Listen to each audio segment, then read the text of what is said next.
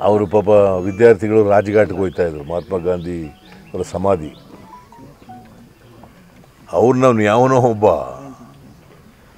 ಏನು ಹಿಂದಿನಲ್ಲಿ ಏನೋ ಹೇಳ್ತಾನೆ ಏನದು? ಕ್ಯಾಜೆ ಲೇಲೋ ಏ. ಏ ಲೇಲೋ ಆಜಾದಿ. ಏ ಲೇಲೋ ಆಜಾದಿ. ಸ್ವಾತಂತ್ರ್ಯ ಬೇಗ ತಗಳಿ ಅಂತ ಗುಂಡುಡಿತಾನೆ ಪೊಲೀಸ್ನವರು ಬೇಕಾದಷ್ಟು ಪೊಲೀಸ್ನವ್ರು ಇರ್ತಾರೆ. ಅವರು ಮೂಕ ಪ್ರೇಕ್ಷಕರ ಥರ ಕೂತು ನಿಂತವ್ರೆ ಅಂತಂದರೆ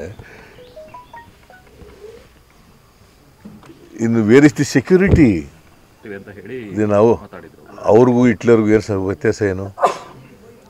What is the difference between the Hitler and the ಆ ಕೇಂದ್ರ ಸಚಿವ? ಎಲೆಕ್ಷನ್ ಕಮಿಷನ್ ಕೇಸ್ ಈಗ ಸಿ ಎ ಎ ವಿರೋಧ ಮಾಡಿದ್ರೆ ದೇಶದ್ರೋಹ ಅಂತಾರೆ. ಅವ್ರು ಹೇಳೋ ಸ್ಟೇಟ್ಮೆಂಟ್ಗೆ ಏನಂತ ಕರಿಬೇಕು? ದೇಶಭಕ್ತರ ಸ್ಟೇಟ್ಮೆಂಟ್ ಅಂತ ಕರಿಬೇಕು, ದೇಶದ್ರೋಹಿಗಳ ಸ್ಟೇಟ್ಮೆಂಟ್ ಅಂತ ಕರಿಬೇಕು.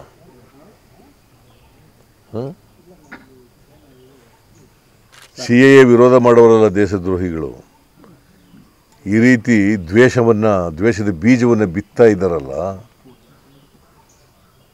ಸಮಾಜ ಒಡಿತಕ್ಕಂಥ ಕೆಲಸ ಮಾಡ್ತಾ ಇದ್ದಾರಲ್ಲ, ಅದು ಇವತ್ತು ಅವನು ಗುಂಡಾರಿಸ್ಬೇಕಾದ್ರೆ ಬಹಿರಂಗವಾಗಿ ಅಷ್ಟೊಂದು ಜನ ಪೊಲೀಸ್ನವ್ರು ಇದ್ದಾಗ ಗುಂಡಾಕ್ಬೇಕಾದ್ರೆ ಇವರೆಲ್ಲ ಇಂಥ ಮಾತುಗಳು ಹೇಳಿದಾರಲ್ಲ? ಅಮಿತ್ ಶಾ ನರೇಂದ್ರ ಮೋದಿಯವರು ಇವರೆಲ್ಲ ಈ ಪ್ರಚೋದನೆಯಿಂದಲೇ ಅವನು ಗುಂಡಾಸ ಮಟ್ಟಕ್ಕೆ ಹೋಗಿರೋದು. ಯು ಮಸ್ಟ್ ಅಂಡರ್ಸ್ಟ್ಯಾಂಡ್ ಹೋದ ಸಾರಿ ಬಜೆಟ್ಟು ಇಪ್ಪತ್ತೇಳು ಲಕ್ಷ ಕೋಟಿ ಆಗಿತ್ತು.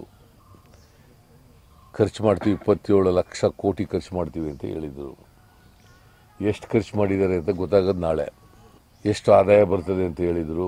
ಎಸ್ಟಿಮೇಟೆಡ್ ರಿಸೀಟ್ಸ್ ಎಸ್ಟಿಮೇಟೆಡ್ ಎಕ್ಸ್ಪೆಂಡಿಚರ್ ಬಜೆಟ್ನಲ್ಲಿ ಹೇಳಿದ್ದು ಈಗ ಗೊತ್ತಾಗಬೇಕಲ್ಲ. ಇವತ್ತು ಅವ್ರು ಹೇಳ್ದವೆಲ್ಲ ಆಗಿದ್ದರೆ ಆರ್ಥಿಕ ಪರಿಸ್ಥಿತಿ ಚೆನ್ನಾಗಿದ್ದರೆ ಆರು ವರ್ಷ ಆಯ್ತಾ ಬಂತಲ್ಲ ಈಗ? ಹ್ಮ್? ಕೇಂದ್ರದಲ್ಲಿ ನರೇಂದ್ರ ಮೋದಿಯವ್ರ ಸರ್ಕಾರ ಬಂದು ಸಿಕ್ಸ್ ಇಯರ್ಸ್ ಆಗ್ತಾ ಇದೆ. ಸಿಕ್ಸ್ ಇಯರ್ಸ್ನಲ್ಲಿ ಇವರು ಸ್ವರ್ಗ ಸೃಷ್ಟಿ ಮಾಡ್ತೀವಿ ಅಂತ ಹೇಳಿದ್ರಲ್ಲ, ಸ್ವರ್ಗ ಸೃಷ್ಟಿ ಮಾಡ್ತೀವಿ ಅಂತ ಹೇಳಿದರು. ಈಗ ಸ್ವರ್ಗನೋ ನರಕನೋ ಅಂತ ಜನಗಳು ಅನುಭವಿಸ್ತಾ ಇದ್ದಾರೆ. ಸ್ವರ್ಗ ಮಾಡಕ್ಕೆ ಹೋಗಿ ನರಕ ಆಗ್ಬಿಟ್ಟದೆ ಈಗ. ಆರ್ಥಿಕ ಪರಿಸ್ಥಿತಿ ಇಷ್ಟೊಂದು ಕೆಳಮಟ್ಟಕ್ಕೆ ಯಾವಾಗಲೂ ಕೂಡ ಬಂದಿರಲಿಲ್ಲ. Never in the history of of our country G G D P ಅವ್ರ ಪ್ರಕಾರ ನಾಲ್ಕೂವರೆ ಪರ್ಸೆಂಟ್ ಅಂತ. ನನ್ನ ಪ್ರಕಾರ ಎರಡೂವರೆ ಪರ್ಸೆಂಟ್ ಅದು.